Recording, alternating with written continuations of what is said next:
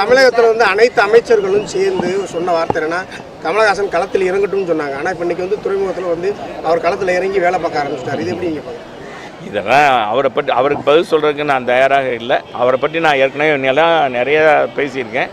ஏன்னா அவரை பற்றி வே- வேற தகவல் எனக்கு அரசு அரசு அரசு சார்பாக எதை வந்து இப்போ அரசு துறை நிகழ்ச்சிக்கு வந்திருக்கேன். இன்னும் என்ன வேணா சொல்லுங்க சொல்லுங்க. நான் கேட்குறேன். எங்கள் அரசில் இப்போ நாங்கள் எப்படி செயல்பட்டுருக்கன்றதை சொல்கிறோம் சீனி விலை மார்க்கெட்டில் நாற்பது ரூபாய்க்கு மேலே போயிட்டு நாற்பது ரூபா நாற்பத்தஞ்சு ரூபா போயிட்டு.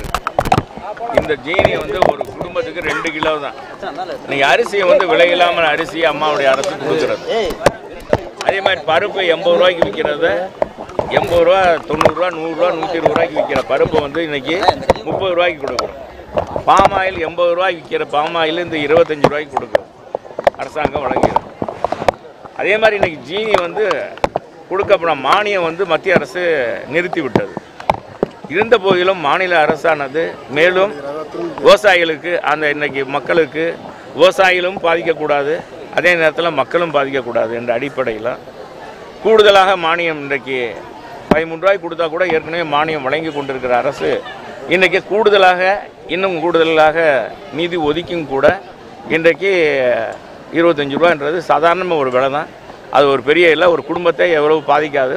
மாதத்துக்கு எத்தனை கிலோ வாங்குறாங்கன்னு உங்களுக்கு தெரியும். ரெண்டு கிலோ மூணு கிலோ தான் வாங்குவாங்க. ஏன்னா அதில் அதனால் ஒரு எந்த பாதிப்பும் இல்லை.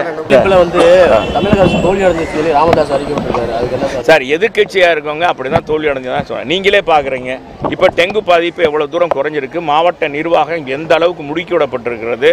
இன்றைக்கி மாணவ சமுதாயமே அதில் ஒன்று திரண்டு வேலை பார்த்து இன்றைக்கு ஒவ்வொரு இடங்கள்லையும் சுத்தமாகவும் சுகாதாரமாக வைத்துக் கொள்வதற்கு நடவடிக்கை எடுப்பதற்கு மாண்பு அம்மாவுடைய அரசு நடவடிக்கை எடுத்து இன்றைக்கி சிறப்பாக நிர்வாகம் போயிட்டு இருக்கு.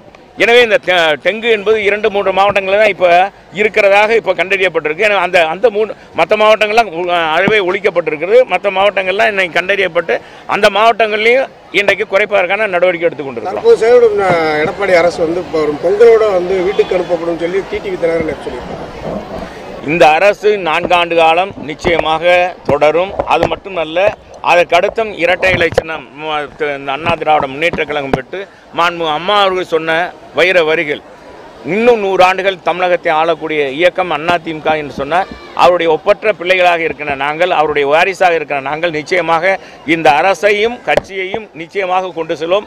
இதற்கு யாருக்கும் எந்த விதமான சந்தேகமும் ஏற்பட வேண்டியதில்லை. நான் மனசாட்சியை மூடிக்கொண்டு நிறைய அமைச்சர்கள் இருக்கிறாங்க.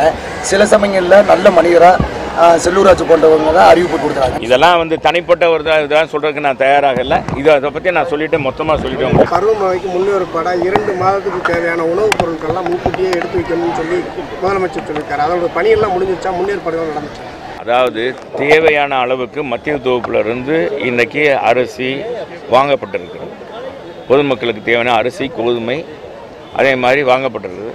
பாம் ஆயில் பருப்பு தங்கு தடையின்றி கிடைப்பதற்கு விவசாய நம்ம மக்களுக்கு கொடுப்பதற்கு ஒரு கோடியே தொண்ணூற்றி ரெண்டு லட்சம் குடும்ப அட்டைகளுக்கும் வழங்குவதற்கான அனைத்து வகையான நடவடிக்கையும் உணவுத்துறை எடுத்திருக்கிறது. இது பற்றி விரிவாக கேட்க வேண்டுமானால் நீங்கள் உணவுத்துறை அமைச்சர்கிட்ட கேட்கணும். எங்களை பொறுத்தளவுக்கு எங்கள் கடைகளுக்கு இன்றைக்கு எண்பது சதவீதம் தொண்ணூறு சதவீதம் மக்களுக்கு தேவையான பொருட்களை எடுத்து வைத்து விடுகிறோம். பருவமழைக்கான கூட்டுறவுத்துறை சார்பில் என்னென்ன எடுக்கிறீங்க? பருவமழைக்கு முன்னெச்சரிக்கையாக அனைத்து வங்கிகளிலும் அனைத்து கூட்டுறவு கடன் சங்கங்களிலும் மாவட்ட வங்கிகளிலும் இந்த தொடக்க கூட்டுறவு கடன் சங்கம் மூலமாக விவசாயிகளுக்கு வழங்கப்படுகிற பயிர்க்கடன் இந்த ஆண்டு மாண்புமிகு முதலமைச்சர் அண்ணன் எடப்பாடி அவர்கள் ஏழாயிரம் கோடி வழங்க வேண்டும் என்று உத்தரவிட்டிருக்கிறார்கள். எனவே அந்த அடிப்படையில் எந்த கால எந்த அதாவது கூட்டுறவு தொடக்க கூட்டுறவு கடன் சங்கங்களும் வழங்கவில்லை என்ற நிலை இருக்கக்கூடாது. எல்லா சங்கங்களையும் வழங்க வேண்டும் என்று ஆணை பிறப்பிக்கப்பட்டிருக்கிறது. அது தொடர்ந்து கண்காணிக்கப்பட்டு வருகிறது.